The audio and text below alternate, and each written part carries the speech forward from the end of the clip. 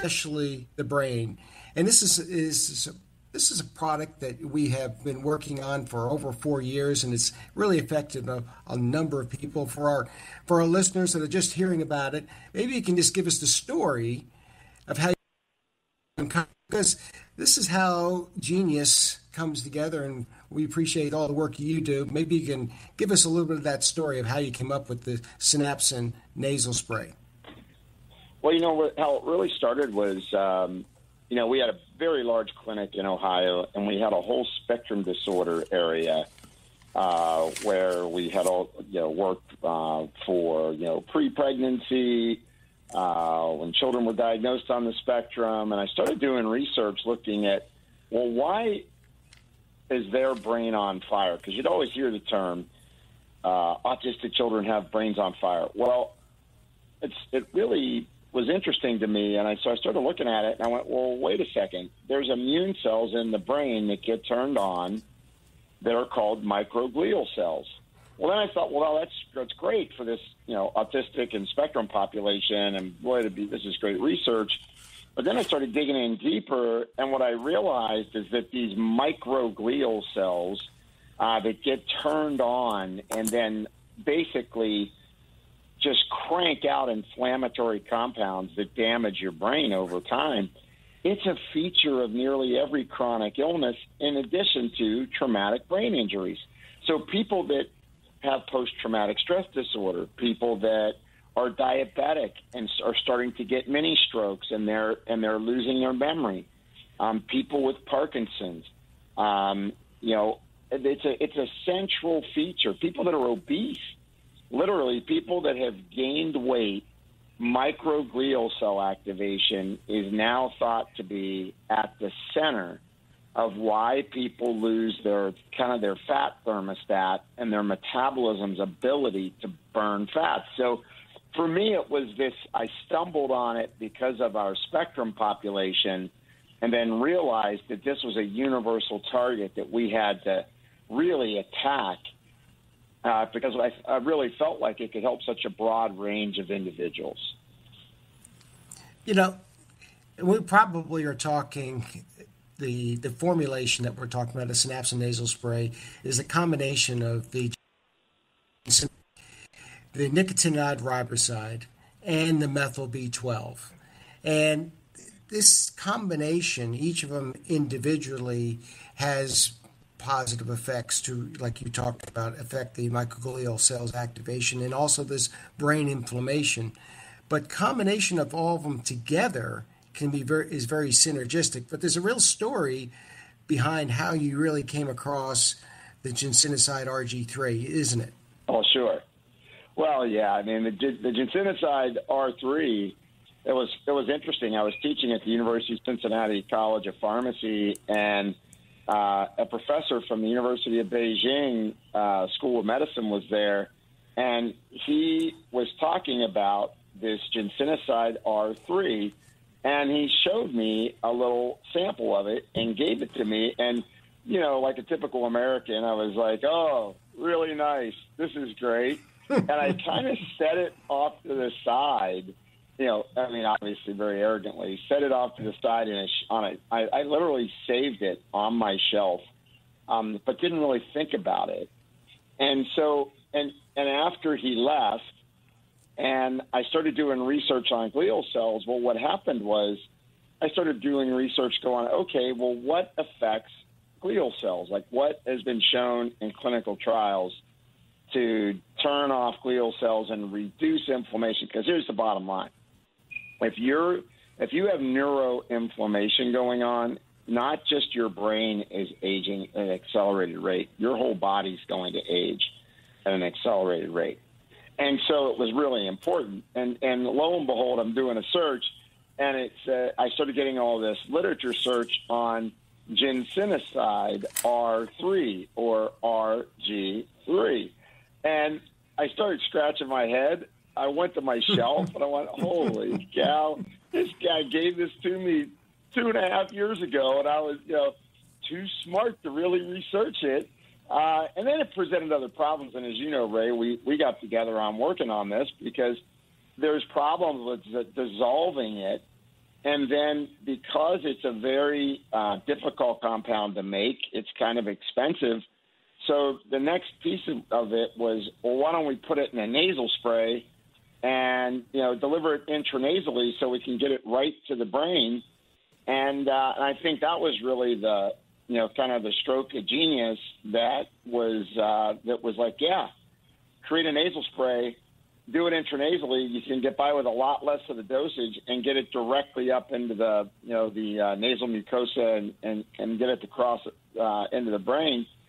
And uh, it, you know what? It it worked, and we've had a lot of people utilizing it since then. And and, and the the real thought behind the formula anyway is you need something to turn the inflammation off, and then you need nutrients to turn on the mitochondria or the powerhouses of the neurons so that they can be repaired. So it's kind of like, uh, hey, I got to tear off the old roof and get rid of the old windows, and I got to shore up the, the foundation, but then I got to put all that stuff on there new.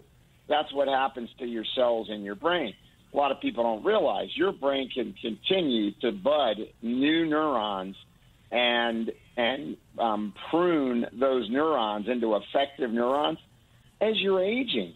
A lot we used to think that oh you just lose neurons. It's not the case when you're if your brain is healthy and inflammation's under control, you actually can bud new neurons and restore cognitive capacity.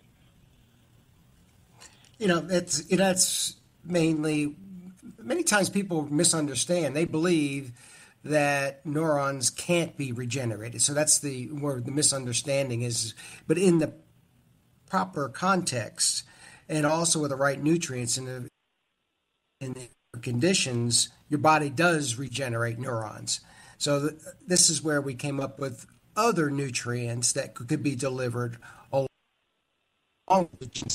at the same time. And this is where you you came to me and you said, you know, there's there is another nutrient, this uh, nicotinamide riboside, which also upregulates and has influence on mitochondria.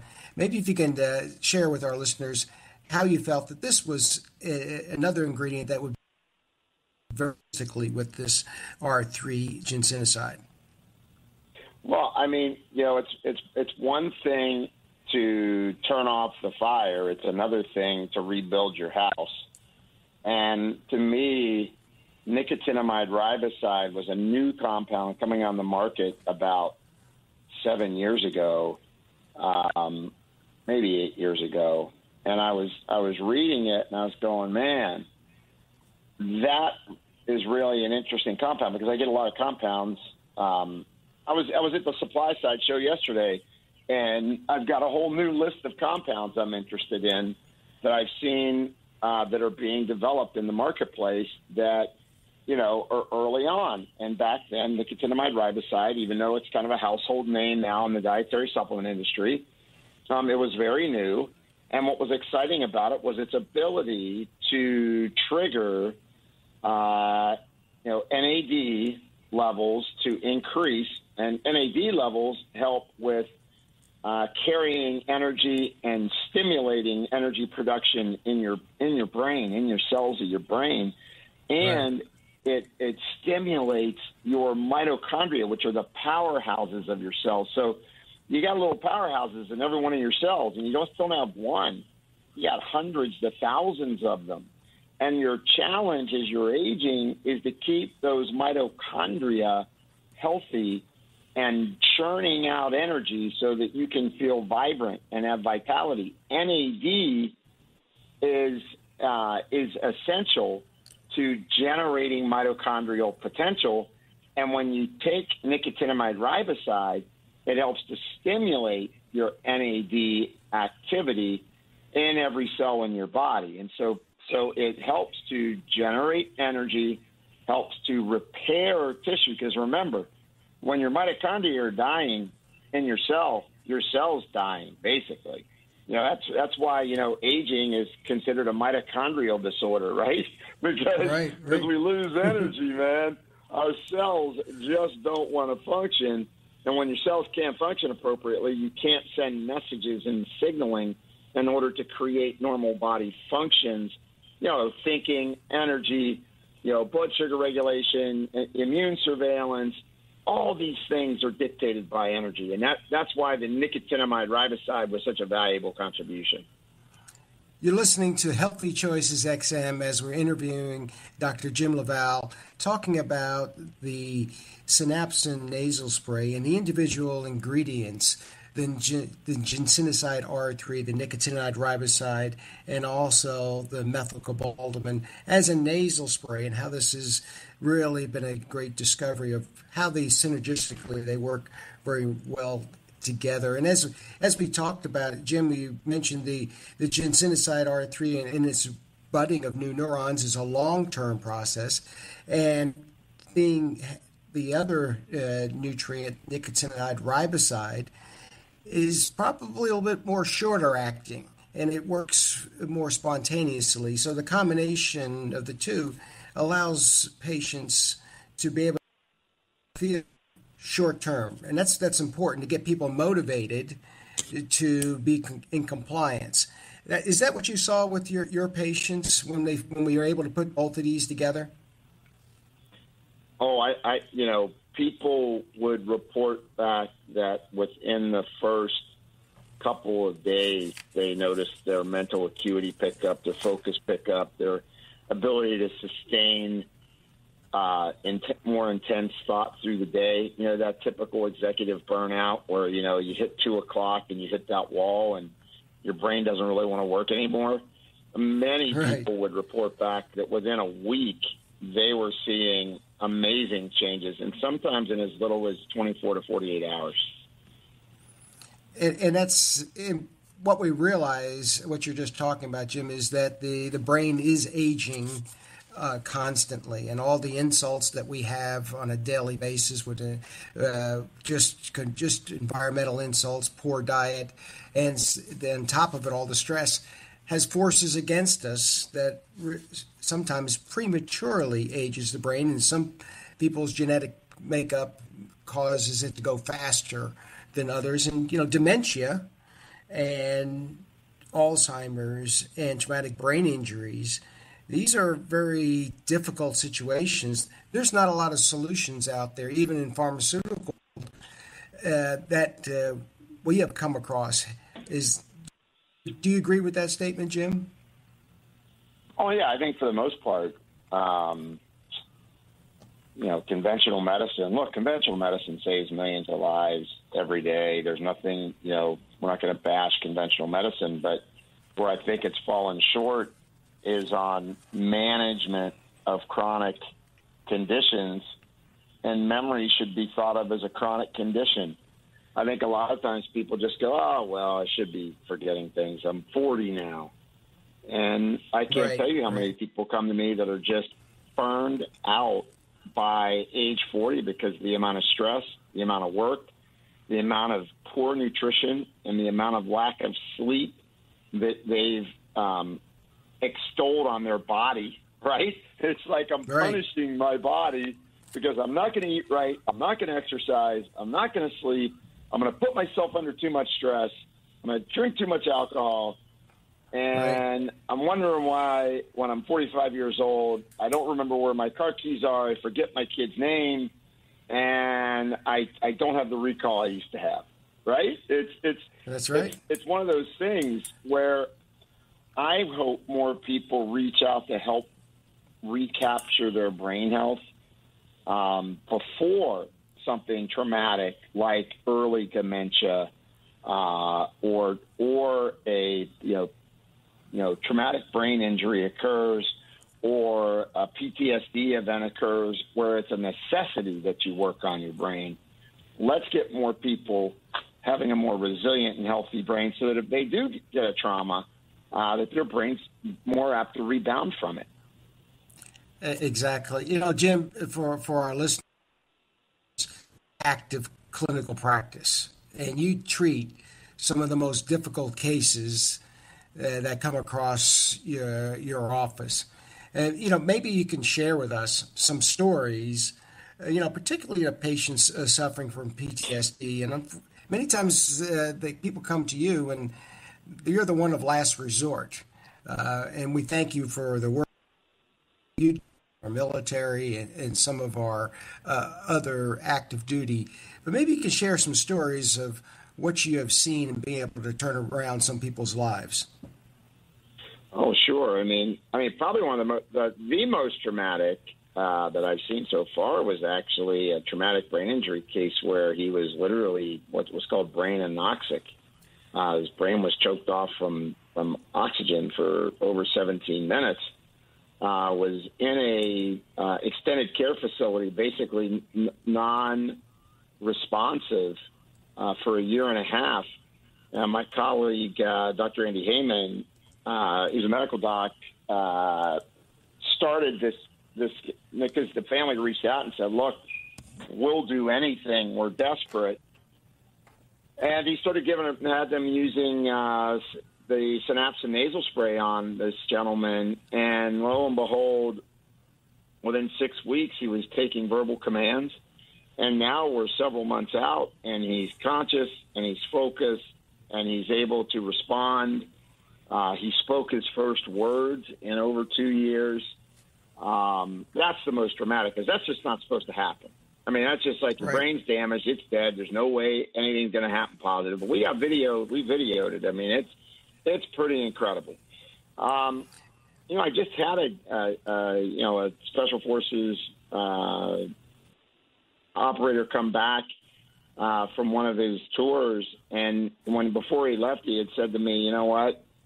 I'm having, you know, I'm not, I'm not thinking as clear think as I should. Getting ready to go in. You know, do you have any tricks that you know you think you could help me to try to dial in my diet and really get me in tip-top shape before my next, you know, uh, you know, tour?" And I was like, "Well, why don't we try using Synapsin?" And I mean, he just reported back, I can't believe how much quicker my reflexes are and how much clearer headed I am and how much better I feel. And when he came back, he was like, I've never felt this good coming back uh, from a tour because, you know, those folks are under a lot of duress. Um, I, I've got, I mean, the, some of the most dramatic uh, instances, Ray, are people just trying to get through their daily life you know, 35 year old moms with two kids or three kids working a full time job, not getting enough sleep, and they, they get to where they can't think clearly because their their brain is literally, you know, what I always call the term pushing a thought through jello.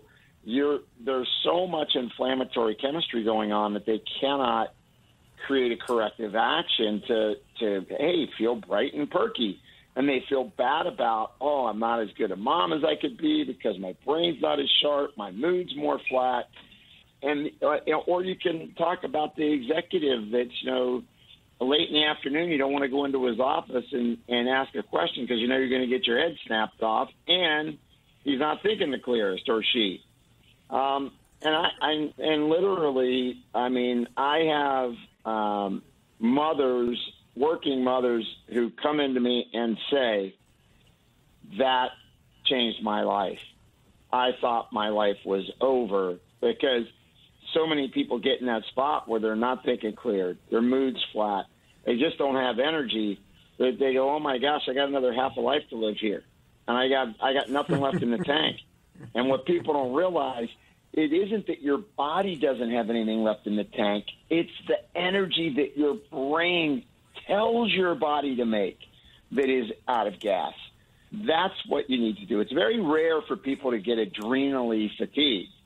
You get central fatigue, meaning your brain gets overwhelmed and shuts down because it's trying to preserve you because of the amount of load you put on it. And that I think people need to understand that that you gotta you gotta heal the brain so that your body can follow that path to to you know signaling the way it was meant to signal again and get its circadian rhythms back aligned so that hormones are being released when they're supposed to and you're sleeping when you're supposed to and you're rejuvenating your body each night.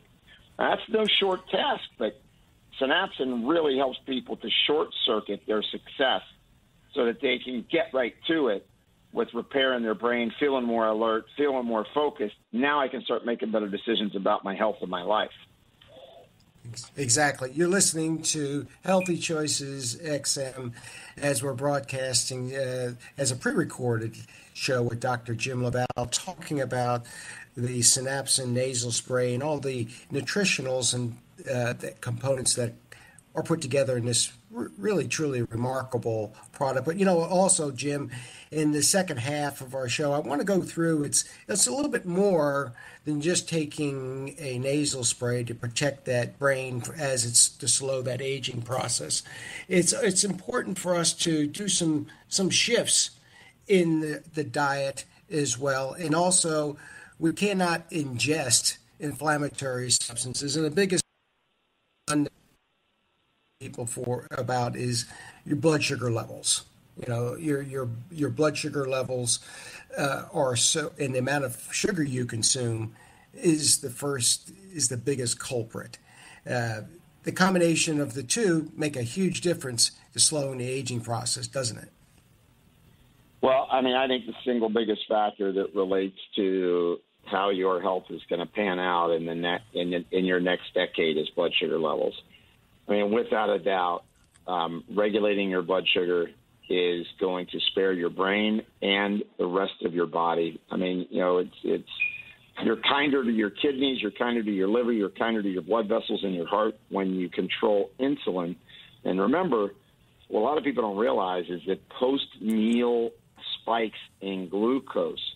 So your blood sugar goes up because maybe, hey, I'm going to eat a bagel sandwich with a bag of chips and finish it off with a cookie and gulp everything down with a Coke or a, or a, or another soft drink that's sugar laden, your your blood sugars spike up and trigger a bunch of inflammatory chemicals to be poured out into your body that will trigger not only the brain to become inflamed but damages all your tissues. So yeah, blood sugar it, it is so important. And I got to tell you, Ray, as you well know, I've really been on a kick uh, to right. you know exercise, restrict eating, all that kind of stuff. And I mean, even for somebody with a family history of diabetes, it's, it's, it, it, it's a very key mark. We touched on blood sugar levels uh, as it contributes to inflammation, especially in the brain, and how what you eat and also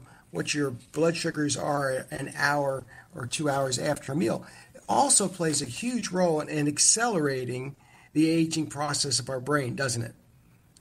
Oh, absolutely. So, you know, you think of uh, Alzheimer's being diabetes type 3. And, you know, I, what I, am actually at, at a, a, global fasting summit today at the University of Southern California Keck Center of Medicine.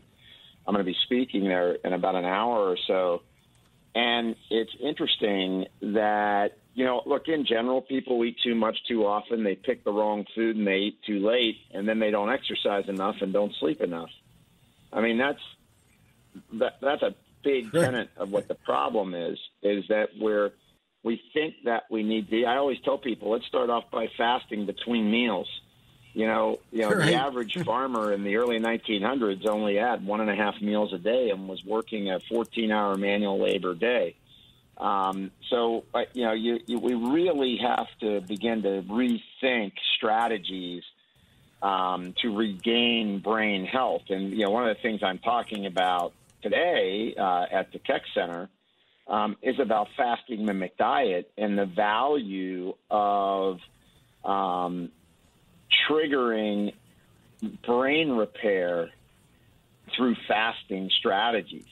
So literally, when you you can trigger in a very fast way stem cells and neuronal regeneration by foods. Uh, so when you said earlier, it's not just about using a nasal spray. You're right. I have people do time restricted eating, so I put them on a schedule of eating.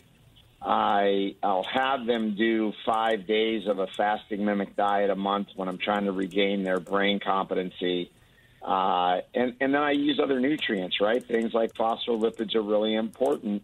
Uh, you know, nutrients like PQQ and CoQ10 are really important. Um, but you, you really you, you can't expect to eat a muffin every day and a couple of cookies uh, and then finish it off with a bowl of pineapple, meaning that you're you're pumping a bunch of sugar into you and think that your brain is going to be healthy. It's, it's going to create right. a problem down the road. You know, and it's uh, you know it's unfortunate. Also, people believe that their cholesterol levels or whatever, or they can check their blood pressure levels, and it doesn't really matter what they eat because that's what they've been told. And at the same time, we have patients that also believe, well, I just ran two miles today, so I can pretty much eat whatever I want. And I know you do a lot of work with athletes, and you realize it's um, it's a three-legged stool. You have to do all of the above. Oh, I mean, athletes. I'll tell you, many times when I look at athletes' labs, it, the only thing that's different between the athlete and someone who's obese um, is that one's heavy and one isn't. The athlete suffers from very similar metabolic distortions uh, as people that are overweight. So it's a it's a real um, I think a real problem because you know athletes do think that oh I can eat whatever I want, and the reality is it's not what you do when you're training or when you're in the game. It's the other 22 hours a day that help you to recover efficiently and make you survive the sport that you're in, whether you're an amateur and you're a triathlete or you're trying you're attempting to, you know, maybe be a professional athlete, you know, whether it's amateur or professional.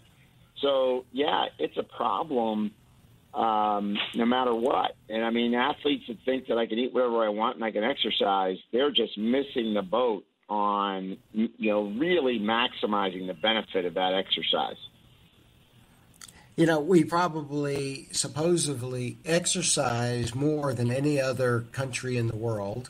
We spend more money on health care than any other country in the world by far. But recently at a lecture, you come up with a statistic of the overall life expectancy of the United States versus other countries. There's a big gap, isn't it? Well, I mean, for the amount of money we spend on health, uh, we're ranked, I believe, 74th in quality of life. I mean, our ranking on quality of life was horrible, uh, and and it, and yet our spend is at the top of the heap. So it's pretty alarming that that we're ranked as low as we are with all the spend that we have and all the exercising we are doing and all the Lululemon uh, studios that are out there selling exercise garments to people, we're still fat. And, and you know, and, and there's more to it than just, you know, how much you're eating and how much you move, although that is important. I mean, I, I, I used to not teach counting calories. What I teach now is change the quality of your food and count your calories. You know, both of those things are important in terms of the uh, of how someone's going to get a a successful outcome on managing their weight. So that so that's the you know it, it it's really interesting that that you know yeah you got to look at quality you got to look at quantity and then you got to look at things like stress and you know environmental burden as to what may be affecting that person's metabolism, right? Their hormones. I mean, you've seen this over and over again, Ray. I mean, women that are estrogen dominant, uh, they just flat out have more issues around weight gain than women who have a better balance to their hormones. So all of those things kind of play a role. And remember, as soon as you're beginning to gain weight, you're overweight and you're and, and or categorized as obese, and you're insulin resistant or considered a type 2 diabetic, what will happen is um, by default, you you'll start to trigger inflammation in your body that will go from your brain to your toes. It's that simple. That's that is simple. You know, if you're if you're just tuning in, this is Healthy Choices X and improve your brain health, and it seems like you you may be listening. You say, well, how does the diet and how does exercise and overall quality of health, how does this all relate? I think it's really important for listeners to realize that if you're tired and it starts with your brain and you really can't focus, you the thought of making decisions or making changes to your life, overall health has to start there. And all the other steps that we just went through in our show today gives people a roadmap of how they can make what seems to be a very torturous, difficult path to make it easier for them. So I think it starts with the, uh, in the brain. This is what we, we started out with the uh, do you get started that they can get control of their life. And I think that's where, where it starts. And then you can be able to talk to them. I know that you have in your clinical practice sometimes you have to be able to communicate with them. And if they can can't understand what you're saying, then everything's you know, unfortunately, all your time and energy is lost, right? Yeah, that's exactly right. I mean, look, it doesn't matter how smart we think we are. We have to be able to communicate to people and make them change their lives.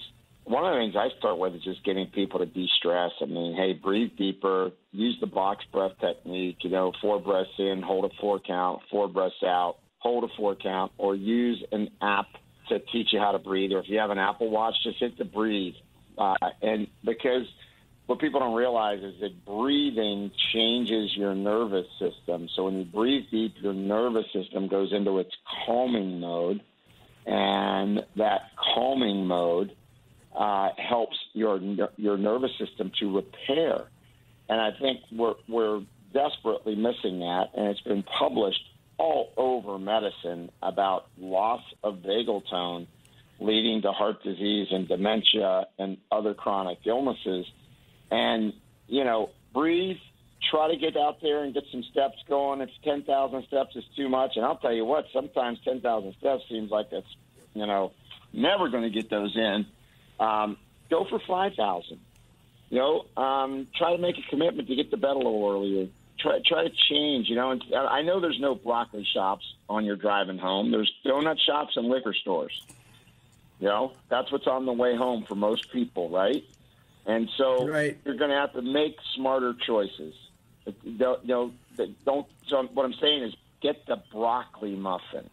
Now you may have to drive around quite a bit to get that, but you got to find you got you got to find joy in eating healthier foods and explore them, uh, and and that's going to really help if if you're wanting to try to help your brain. Is correct your food, eat foods that don't spike your insulin so much. Use something like Synapsin nasal spray to repair your brain. Really help you to feel sharper, feel more crisp, alter those those glial cells, um, turn them off and allow your brain to repair itself. Because that's really what you're doing. You're allowing your body to repair itself. That's the ideal way to, to utilize natural therapies. And that's what's so great about these natural medicines, which has been the foundation of healing since the beginning of time. And then I think these lifestyle changes that you're making, you'll see the benefit of these milestones that you get to. You'll be able to hit the 10,000 steps a day and you get that joy of that accomplishment. You're feeling